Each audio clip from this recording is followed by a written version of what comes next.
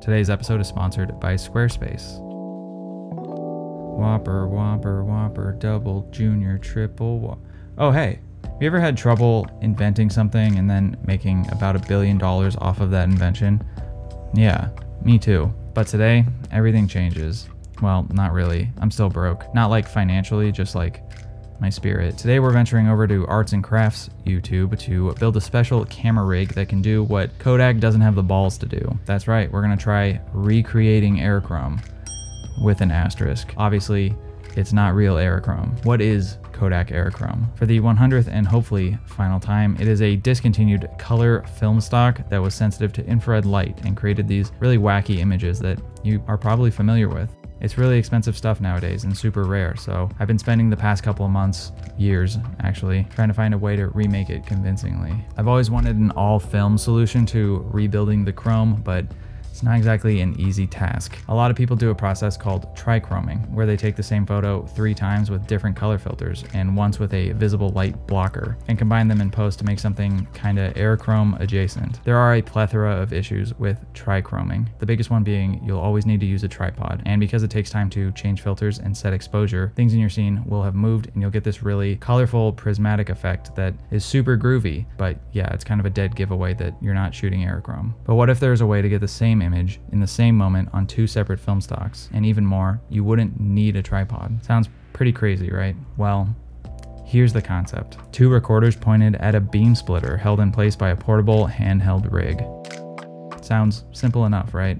But what the f is a beam splitter? So a beam splitter is a special piece of glass that allows a certain percentage of light to travel through it and then the remaining percentage of that light to bounce off of it or reflect. It basically partitions your light into two or more separate beams that produce the same image. That's where recorder number one and recorder number two come in. And by recorder, I mean 35mm film cameras because why not make this as inconvenient as possible? But what can we do with this newfound power? Well, like my uncle once said before he was brutally murdered in a robbery gone wrong, with great power comes great responsibility. What does this mean to us if we could hypothetically capture the same image twice? Well, what if we could capture the same image on infrared black and white film and visible light color film separately. Then, what if in post we splice the infrared image into the visible light color image? We would theoretically have something that is very, very similar to the film photography holy grail, aerochrome. Okay, well, great, that sounds good to me. How do we make these dreams come true and even build this rig? I don't know. I'm not an engineer, so I'm just gonna figure it out step by step. Oh, maybe I am an engineer. First in foreskin or whatever the phrase is, I'll need beam splitter glass a big piece of it. Luckily, teleprompters use this alien technology constantly. So I bought a teleprompter system off of jungle.com, one that was made of metal and looked sturdy. As an added bonus, with this system, we get a free tripod mounting socket for recorder number one. Step number two would be to find a way to mount recorder number two at a 90 degree angle underneath the system. And step three, profit, I guess. Here's our uh, double uh, shutter release cable. There you go. So like when I go to take a photo, it'll have to be like a, okay. Now I just need another Nikon camera. I can just borrow one from Caleb. I have another one of these lenses on the way so that the lenses will line up. I just need to find a way to mount this now underneath the, um, the beam splitter because there is not enough clearance.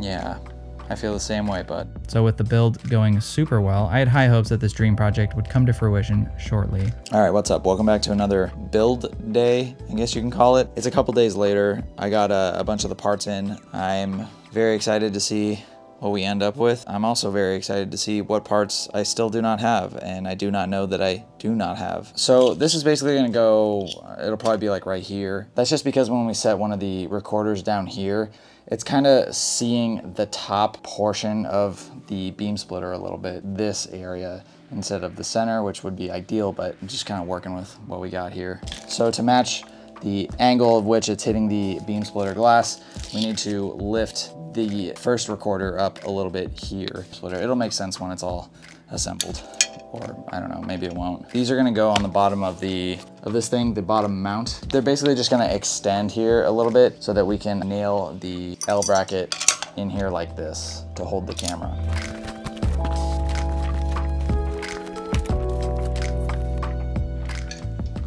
If I can hold it from down there, then That's a, that's a good sign, right? Hopefully you can see that. That'll be kind of the setup. All right, welcome back to test assembly number three. Here's the iPhone mount. Just need something to basically hold the camera in place. Um, basically, I just need to detach this piece and use this piece.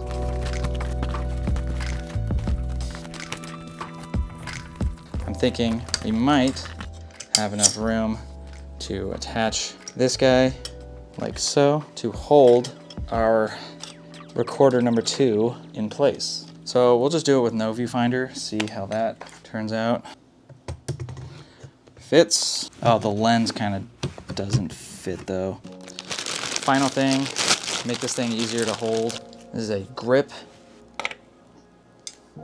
Definitely makes it portable. I need to figure out how to fix the angle of view on this though, because the 35 millimeter lens is seeing a little bit past the beam splitter up here. If I could angle it like this, and then I would have to angle recorder number one down a little bit, that would work out well. Assessment build number four, I think. Things are looking a little bit different. If you originally remember, the metal went up to here, but it was causing a problem. We were kind of seeing off the top of the, the beam splitter, which was not good. So let's just assemble it back together and see what we're working with, see what new problems arise.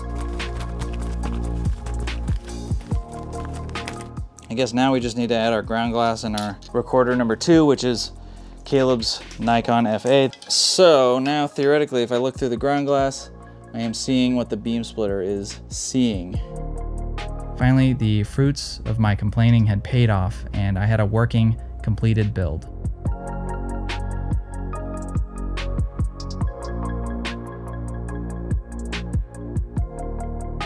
Eager to get this field tested, I decided to load up the cameras and get them optically aligned for battle. All right, camera number two, this is Caleb's Nikon FA. I've never loaded this camera before, but um, it's a Nikon. How hard can it possibly be? How do you load this? How the hell do you open this thing? Does it open from the other side? No, the hinges are over there. There we go. So this is gonna be recorder number one. It's gonna capture the infrared film. So let's go ahead and load this. Caleb's Nikon has the uh, R72 filter on it, which is pretty crazy. Make sure that's tight. Yeah, there's a bit of a delay on one of them. Okay, so I think this is now optically aligned. You see that the recorder number two, and then that's uh, the overlay, the ghost image there is recorder number one. So I think they're pretty close, about as close as um, I'm gonna get them to be anyway. Well, it's finally time to test out the beam splitter in the field, and like a boat going out to sea for the first time, I thought I'd christen it with some flaming hot Mountain Dew.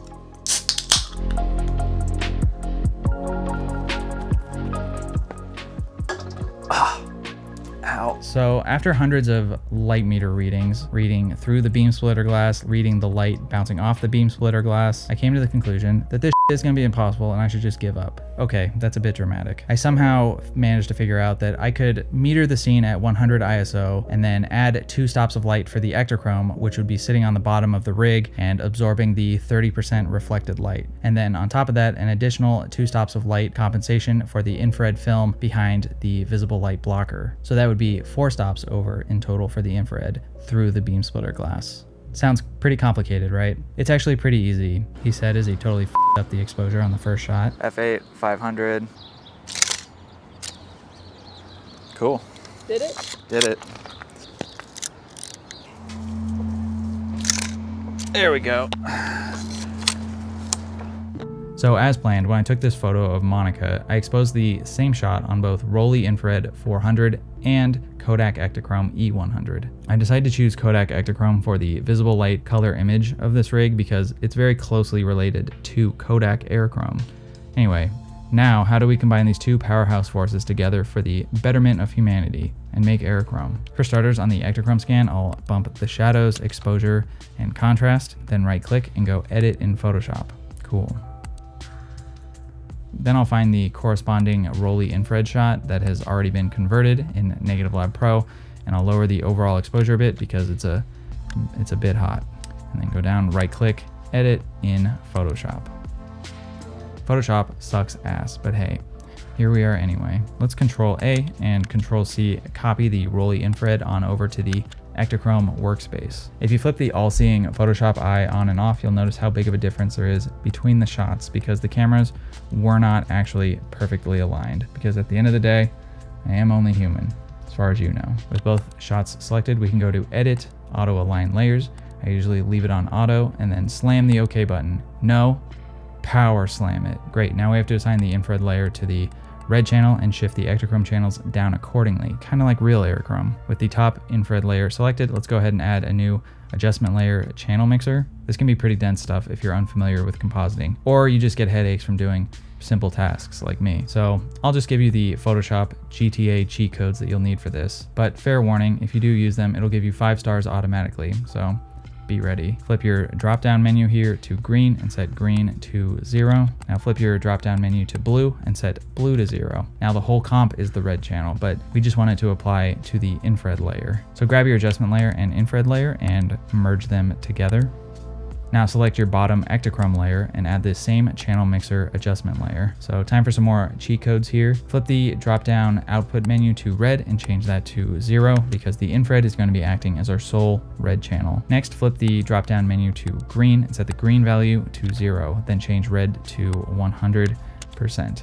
Now the visible light red channel of the Ektachrome is the green channel, which is kind of like real Aerochrome, or so I've been told. Mm-hmm. If you want true 100% genuine Aerochrome, you can even flip the drop down menu here to blue, set the blue to zero, and change the green to 100%. I chose not to do this step in my shots because it gave the images a very strange green turquoise kind of look. The final step here in Photoshop is to simply take your top infrared layer and set the blending mode to screen so that all the pixel values get added together. Now you can save and jump back into Lightroom to make any final adjustments that you want, or just delete the photo entirely because you hate it and you're just in one of those moods again. I personally did not like how turquoise the sky looked sometimes, so I shifted the blues a little bit, and occasionally there were sort of these blue, purple, random color casts in some of the shots, so I balanced those out by going down to the split toning and adding some warmth to the shadows. And that's it. Now you can do this whole process again for every shot until it becomes muscle memory and you're doing it in your sleep, at which point your partner, friends, and family will start to be concerned for you, unless you don't have any of those. Okay. Uh, 1 one thousandth at f4, 1 250th, so 500th. We're just gonna focus is set to infinity and beyond. All right. I hope these photos turn out and this isn't all just a waste of time. Okay, this is not a struggle at all. All right.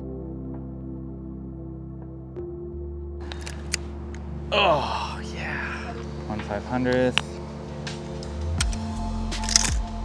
All right.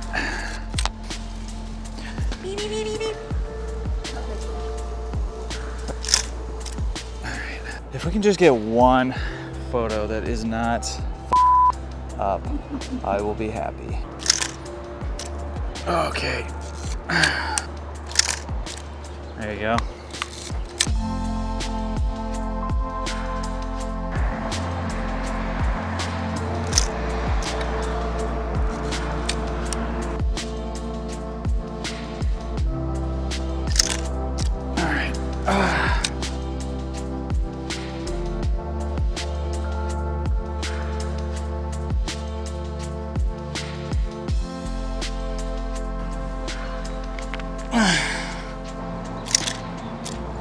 Alrighty. It's not a test video without the uh, the pool shot.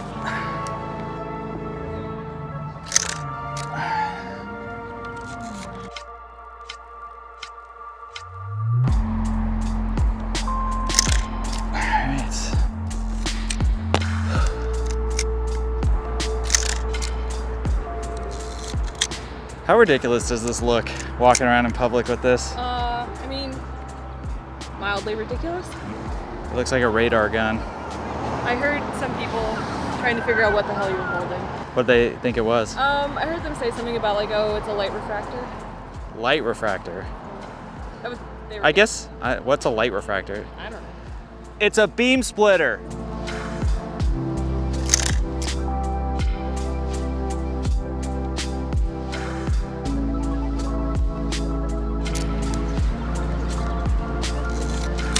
Ugh. Ugh.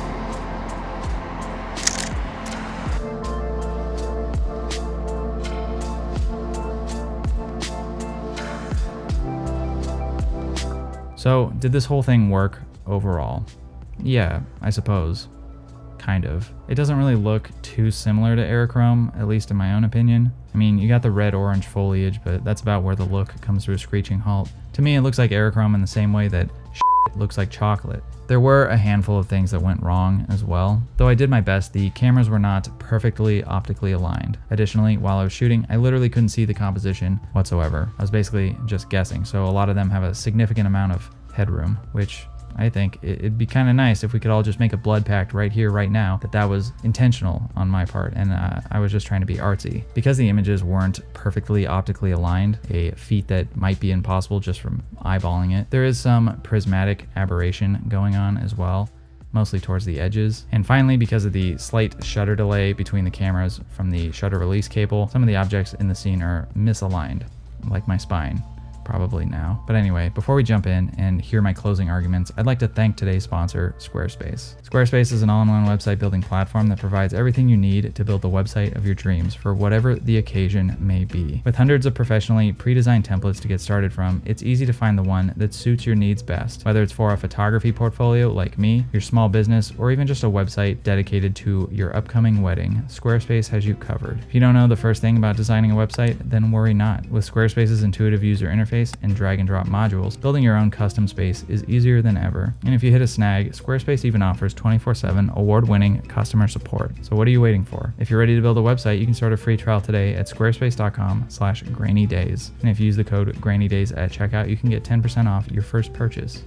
So, was this whole thing a worthwhile endeavor? I guess so. It's fun to try out new theoretical concepts like this, even if it doesn't really go your way all the time. Some of the photos look cool in their own right, but I don't really think it's the style or look for me. I need something a little bit more convincing. Maybe in the future, if I was doing some sort of project that would work well under this guise, then maybe I would consider it. Plus, would it really be worth it to haul around that heavy ass rig?